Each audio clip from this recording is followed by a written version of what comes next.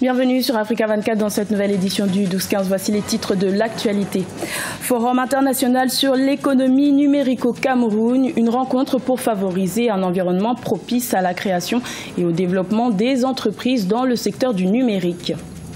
Suspension du procès de l'ancien président Blaise Compaoré et des ministres de son dernier gouvernement devant la justice burkinabé. Le Conseil constitutionnel a été saisi pour statuer sur l'aptitude de la Haute Cour de justice à juger cette affaire. Au Nigeria, les autorités font face au défi de la scolarisation. Près de 40% des enfants de moins de 10 ans seraient déscolarisés et souvent en proie au phénomène de radicalisation religieuse. Les détails dans cette édition. Le Cameroun accueille du 15 au 17 mai un forum international sur l'économie euh, numérique sous le thème Comment réussir l'économie numérique au Cameroun? Un rendez-vous qui vise à favoriser le développement des entreprises de ce secteur. Plus de 200 participants doivent prendre part à cette rencontre. Eric Pella Ondombo euh, du service communication de l'opérateur Camtel s'est exprimé au micro de notre correspondant Thierry Gang. Je vous propose de l'écouter. Alors nous sommes donc euh, avec M. Eric Pella-Ondobo, qui est de la communication euh, de Camtel. Camtel qui joue un rôle euh, important en tant qu'opérateur historique des télécoms au Cameroun pour ce forum du numérique. Alors ce forum est en train de se dérouler ce lundi. Il y avait donc des rencontres B2B entre les, entreprises, entre les organisations. Vous avez participé à cette rencontre-là? Tout à fait. Nous sommes présents sur toute l'étendue des articulations qui permettent à ce salon de se faire. Nous avons rencontré des développeurs nous avons rencontré des porteurs de projets, nous avons présenté aussi, ça c'est très important de le dire, des projets novateurs pour continuer à densifier l'économie numérique au Cameroun. On peut avoir un exemple de projet novateur que vous avez présenté? Alors, le projet phare, aujourd'hui, nous ne parlons qu'en termes de Sahel, c'est-à-dire le South African, South Atlantic.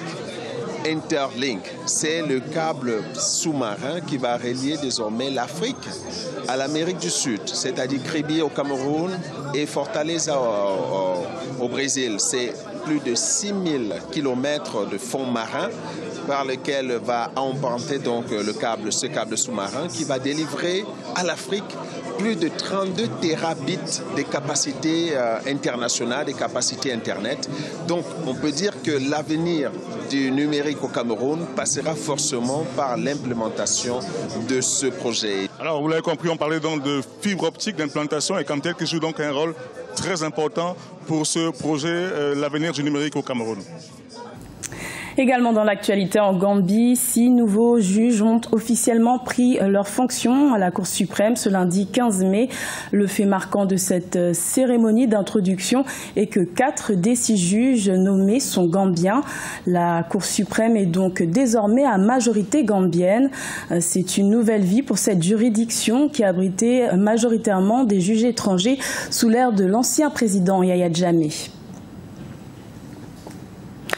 Le procès de l'ancien président Blaise Compaoré et des ministres de son dernier gouvernement a une nouvelle fois été suspendu ce lundi 15 mai après trois renvois devant la justice burkinabé. Les avocats de la défense ont saisi le Conseil constitutionnel pour statuer sur la légitimité de la Haute Cour de justice pour juger cette affaire. Le verdict devrait être rendu d'ici un mois. Reportage de notre correspondant Jean-Paul Ouedraogo, commenté par Clément Joël Soila.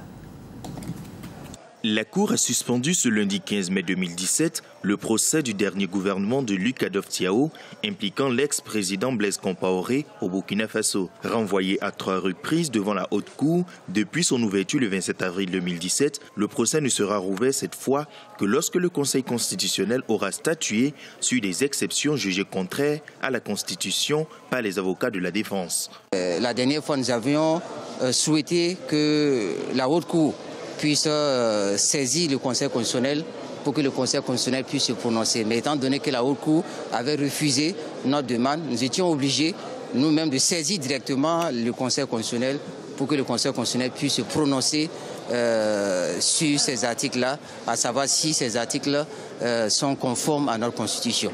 Et raison pour laquelle ce matin nous avons fait la preuve de la saisine effective du Conseil constitutionnel et la Haute Cour n'avait pas le choix que de constater qu'elle ne pouvait plus euh, juger le dossier en l'état.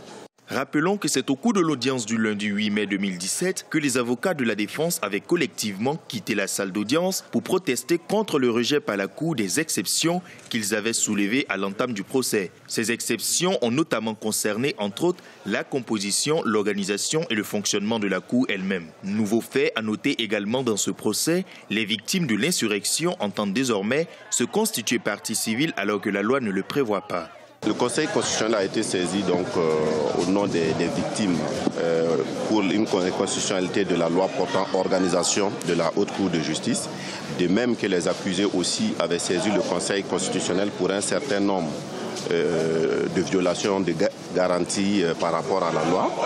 Et conformément à la Constitution, dans ces cas-là, la Haute Cour est obligée de sursoir à, statuer jusqu'à ce que le Conseil constitutionnel se prononce.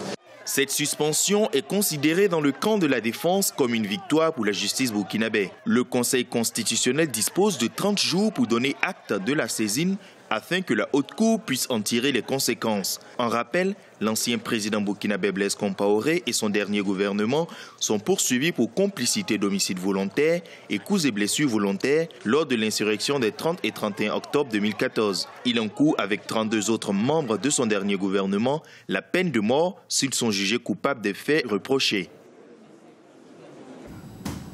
Dans le reste de l'actualité, au Tchad, la délivrance des cartes de journalistes a été suspendue le 11 mai pour une durée de trois mois. Cette décision émane du Haut Conseil de la communication suite à plusieurs usurpations d'identité.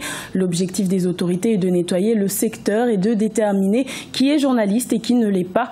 Une nouvelle carte devrait être délivrée prochainement aux acteurs de ce secteur. La piraterie maritime a pris un nouveau cap en Afrique. Si elle a diminué au niveau de la Corne de l'Afrique, elle est en forte augmentation au niveau de l'Afrique de l'Ouest. En 2016, près de 95 attaques ont été recensées au niveau du golfe de Guinée. Birama Sonera. Face aux mesures de sécurité et de protection autour des navires de commerce, le nombre d'attaques de navires est en baisse au large de la Corne de l'Afrique. Cette zone a connu un pic en 2011 avec 171 cas contre seulement 27 en 2016. Cependant, ces phénomènes ont pris une grande ampleur dans le golfe de Guinée. De 54 en 2015, les actes de piraterie sont passés à 95 en 2016. La Somalie est engagée dans un programme de pacification avec la présence notamment de la MINISOL, la mission des Nations Unies pour la stabilisation de la Somalie. Et de plus en plus aujourd'hui, les pirates somaliens sont traqués en interne, même en externe, qui font qu'aujourd'hui, il y a une baisse réelle en tant que telle. Selon les statistiques, vous avez le renforcement national juridique, même en France, il y a des procès en cours contre les pirates somaliens.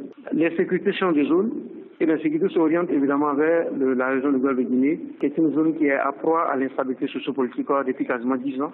Depuis 2005, l'Afrique a souffert de plus de 250 attaques. Ces actes de piraterie enregistrés ont visé des transporteurs de pétrole dans le delta du Niger. Les conséquences de cette piraterie maritime ont engendré un coût de près de 793 millions de dollars en 2016. Le code maritime de la majeure partie des pays de la CEDEAO est un code maritime qui n'est pas encore adapté. Faut qu'aujourd'hui, au-delà de la question de la pêche, aujourd'hui, les questions qui sont liées aux attaques des tankers, qui sont des bateaux pétroliers, devient des questions tout à fait récurrentes dans notre zone. Voici un peu les raisons qui justifient alors notamment cette montée de l'insécurité dans notre zone. Au moins 92% des marchandises arrivent sur le continent africain par la façade maritime. Ces dernières années, la lutte contre la piraterie maritime s'est intensifiée en Afrique. C'est ainsi que lors du dernier sommet sur la sécurité maritime tenu au Togo, les chefs d'État ont signé une charte qui oblige les pays africains à travailler de manière collégiale et régionale pour garantir la sûreté et la sécurité maritime du continent. Au Nigeria, près de 40% des enfants âgés de moins de 10 ans ne seraient pas scolarisés selon les Nations Unies et ce taux serait plus élevé au nord du pays. Les enfants sont souvent contraints à la mendicité, ce qui inquiète les autorités. Degracias Podo. Au Nigeria et plus particulièrement dans la partie nord du pays, le phénomène Almagérie devient de plus en plus inquiétant pour les autorités locales. Ces enfants, essentiellement de jeunes garçons, sont contraints à la mendicité pour subvenir à leurs besoins quotidiens. La majorité d'entre eux ont moins de 15 ans et n'ont pour principal objectif que l'apprentissage et la recherche de connaissances dans l'islam. Contrairement au système scolaire classique, les Almagéries apprennent donc à réciter et à mémoriser le Saint-Coran et autres enseignements religieux. Nous marchons dans les rues et nous prions pour qu'on nous donne à manger. Notre tuteur nous a interdit de rencontrer ou de parler à des étrangers. Il nous a dit que ce n'est pas bien parce que certains d'entre eux peuvent nous voler.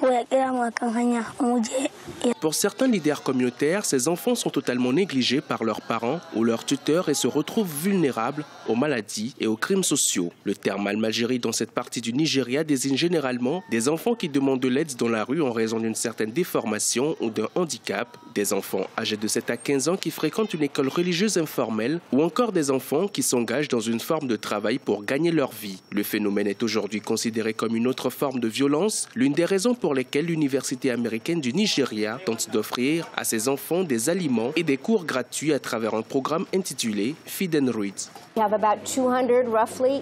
Nous avons environ 200 enfants dans chaque programme. Certaines bonnes volontés se sont présentées pour nous appuyer, mais les chiffres ne semblent pas diminuer. Les enfants sont toujours de plus en plus nombreux. Ce n'est pas un problème à court terme. Ce sont des enfants qui ont été abandonnés par leur famille. Selon les estimations du gouvernement nigérien, la région nord du pays pourrait compter environ 10 millions d'enfants almagérie en situation de vulnérabilité. Outre les abus à caractère sexuel et d'autres formes de violence physique, ils sont également des recrues idéales pour le groupe islamiste Boko Haram. Ce journal a été réalisé par l'ensemble de la rédaction. Merci de votre fidélité. Retrouvez dans un instant une nouvelle édition de l'information sur Africa 24.